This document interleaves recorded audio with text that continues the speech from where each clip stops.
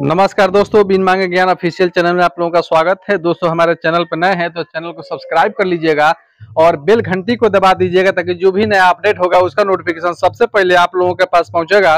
तो दोस्तों, आज की वीडियो में हम बात करने वाले हैं देसी गौ पालन पे मिलने वाले सब्सिडी के बारे में और ये ऑनलाइन स्टार्ट हो गया है। ये भी बताएँगे कि कैसे आपको ऑनलाइन करना है और किस जाति में कितना सब्सिडी आपको दिया जा रहा है। और क्या क्या डॉक्यूमेंट लगेगा, ज़रूरी कागजात लगेगा आपको ऑनलाइन करने के लिए, सारा चीज़ आप लोगों को इस वीडियो में हम बताएँगे स्टेप बाय स्टेप आप लोगों को। तो दोस्तों, हमारे वीडियो में आप लोग बने रहिए। अंत तक पूरा वीडियो को फुल वॉच कीजिए, पूरा समझ में आप लोगों को आएगा। तो सबसे पहले समझ लेते हैं कि कितने गाय पर कितना जो है सब्सिडी दिया जा रहा है सरकार द्वारा और कितना परसेंट सब्सिडी दिया जा रहा है। तो दोस्तों, बताना चाहूँगा कि दो गाय से लेकर के अगर चौदह गाय आप रखते हैं खरीदारी करते हैं तो उस पर आपको अगर एस सी वर्ग में है और पिछड़ा वर्ग में है तो आपको पचहत्तर प्रतिशत अनुदान मिलेगा। अगर वहीं आप अदर कास्ट के हैं, जनरल से हैं तो आपको पचास प्रतिशत की सब्सिडी मिलेगा खरीदारी करने पे। अगर आप पंद्रह से बीस गाय खरीदना चाहते हैं, पंद्रह से अगर बीस गाय आप खरीदना चाहते हैं तो ये सब्सिडी घट करके आपको 40 परसेंट पे आ जाता है और यह लागू सभी वर्गों के लिए होगा, चाहे एस सी एस टी है एस टी हो, चाहे एस सी हो, चाहे जनरल हो, चाहे ओबीसी हो, सबके लिए दोस्तों ये 40 प्रतिशत लगेगा। अनुदान आपको इस पे दिया जाएगा। तो दोस्तों यहाँ पे आप लोग देख लीजिए, ये पेपर का कटिंग है और पेपर का ये कटिंग जो है तेईस का ये पेपर कटिंग है। सिवान गोपालगंज भास्कर के माध्यम से ये जानकारी जो है निकल के आया है पेपर के माध्यम से। और यहाँ पे लिखा है, चार गायों के लिए दो दशमलव छः लाख, बीस गायों के लिए दस दशमलव छः आठ लाख मिलेगा। सब्सिडी, देसी गाय पालने पर मिलेगी अनुदान। एक अगस्त से होगा ऑनलाइन आवेदन। एक अगस्त से ऑनलाइन आवेदन स्टार्ट हो गया है। निदेशालय बिहार के वेबसाइट पे लेकर के चलेंगे और वहाँ कैसे जो है ऑनलाइन किया जाएगा, स्टेप बाय स्टेप आप लोगों को प्रोसेस बताएँगे, डॉक्यूमेंट क्या क्या लगेगा, वो सारा चीज़ जो है वीडियो में हम बताने वाले हैं।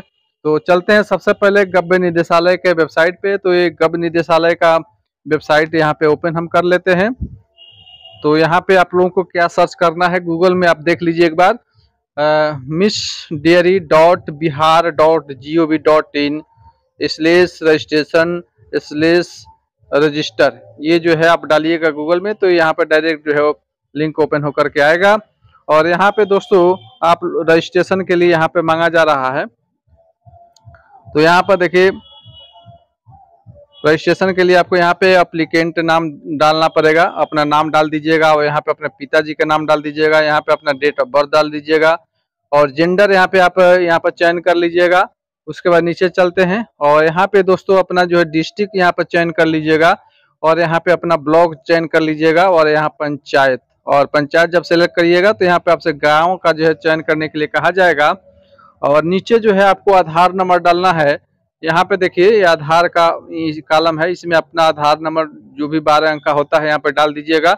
और अपना मोबाइल नंबर जो है यहाँ पे दर्ज कर दीजिएगा। दर्ज करने के बाद सेंड ओटीपी पे आपको टच करना है। ओटीपी जाएगा आपके मोबाइल पे। वो ओ ओटीपी यहाँ पे आपको सबमिट करना है।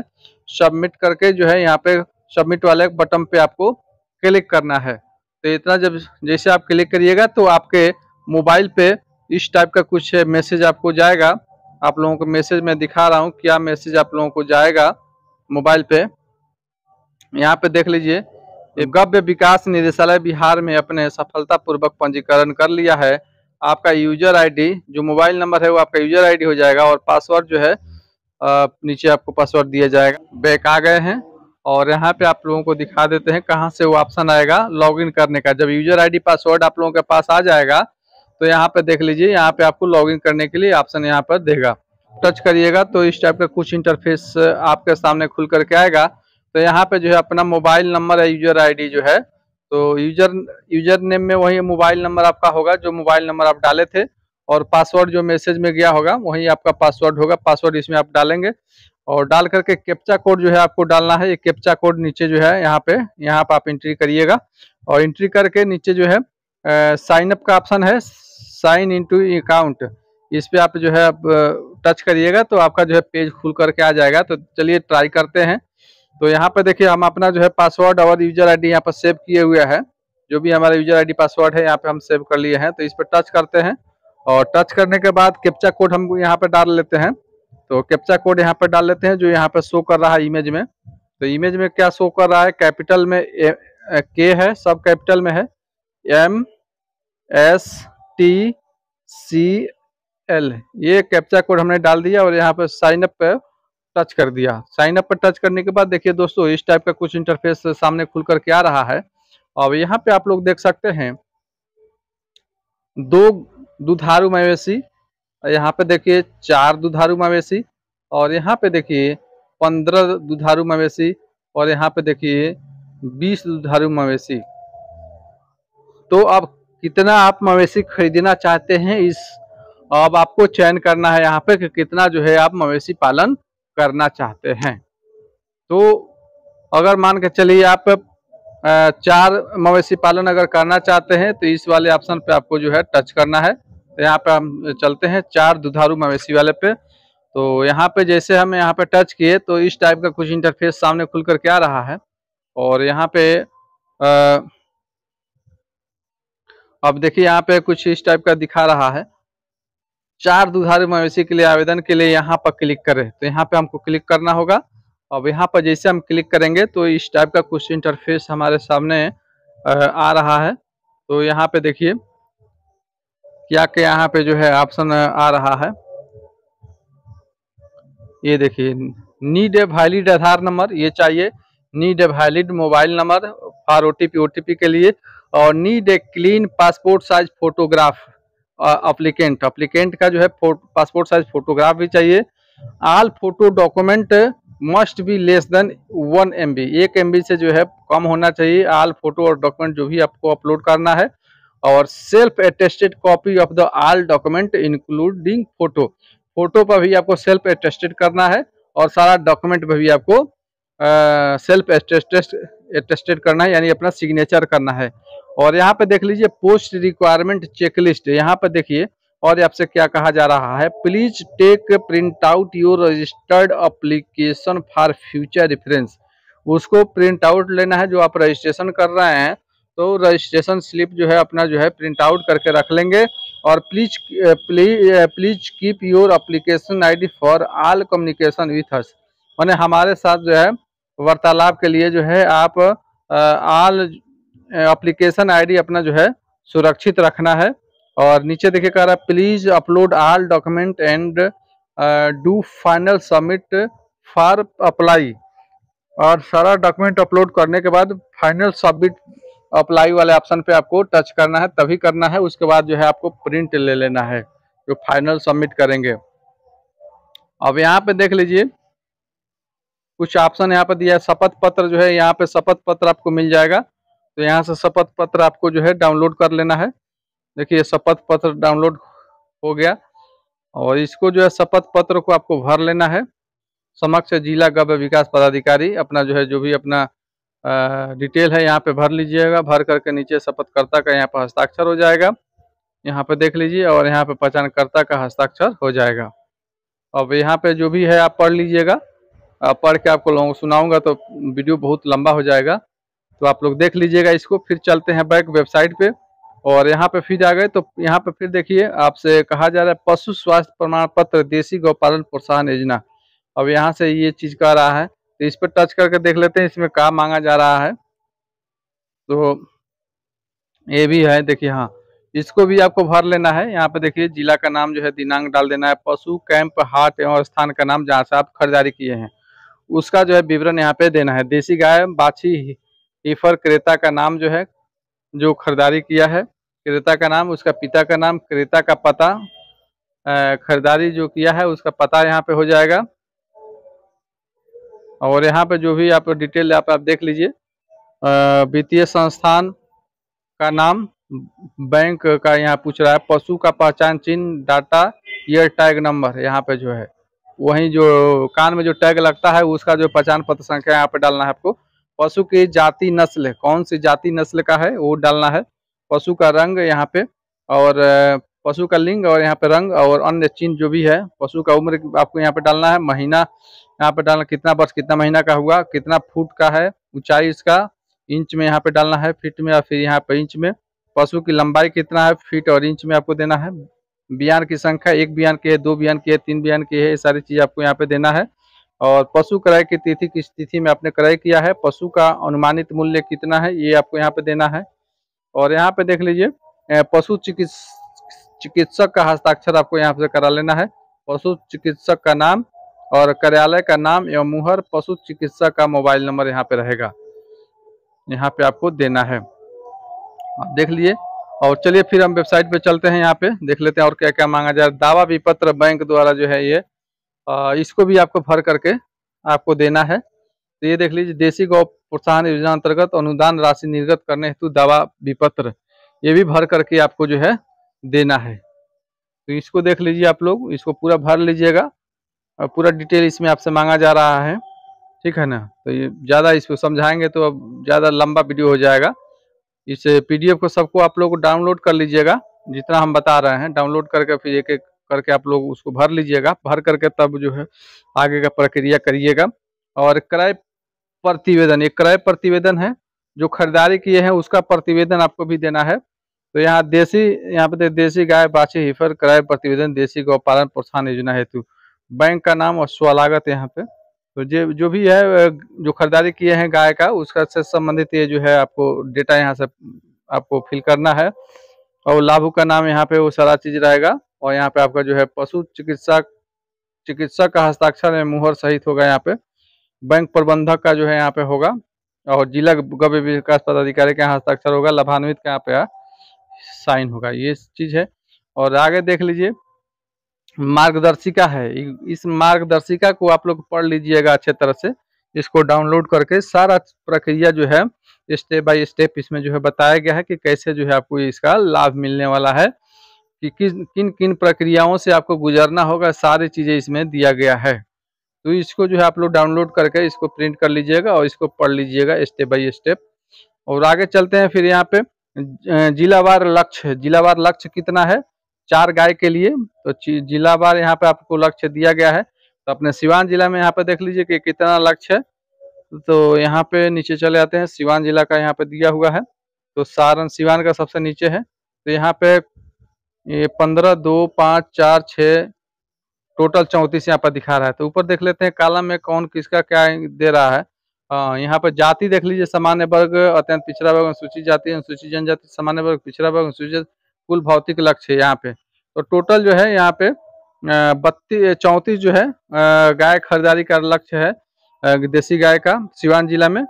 और जो कि कैटेगरी वाइज यहाँ पे बांट दिया गया है। यहाँ पे देख सकते हैं कैटेगरी वाइज इसको बांटा गया है। इस पीडीएफ को आप लोग देख लीजिएगा, पढ़ लीजिएगा।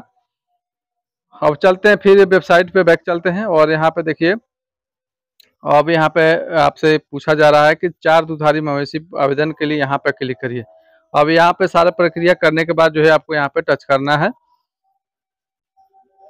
और ऑनलाइन की जो अंतिम तिथि है, ये जान लीजिए दोस्तों एक नौ दो हज़ार तेईस है ऑनलाइन की अंतिम तिथि। उसके भीतर ही आप लोगों को ऑनलाइन कर लेना है। तो इसको जो है यहाँ पे आप ऑनलाइन पे टच करते हैं। तो यहाँ पे देखिए आपसे कुछ मांगा जाएगा डिटेल यहाँ पे आपको फिल करना है। तो जो रजिस्ट्रेशन में आपने डिटेल डाला था, वो सारा चीज़ यहाँ पे जो है खुल करके आ रहा है।